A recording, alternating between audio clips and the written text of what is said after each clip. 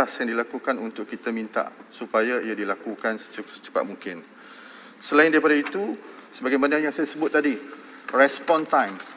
Respon time adalah satu perkara yang saya nak minta supaya diturunkan. 10 minit dah hampir lebih daripada 10 tahun saya minta supaya ia diturunkan untuk menjadi di bawah daripada 8 minit selari dengan negara-negara maju. Cuma saya nak maklumkan kebanyakan kebakaran yang membabitkan kematian berlaku di antara pukul 2 pagi hingga pukul 4 pagi. 90% kematian di dalam kebakaran adalah dalam tempoh tersebut. Kenapa?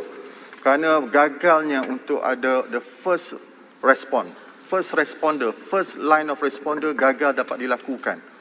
Kenapa? Kerana tidak ada pertama alat pemadam api dan juga smoke detector. Bayangkan kalau YB sedang tidur dalam keadaan api sudah semarak, YB akan get suffocated dan akan hilang dan tidak sedar.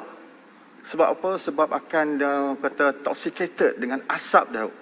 Walhal dalam keadaan itu YB berpeluang untuk menyelamatkan diri.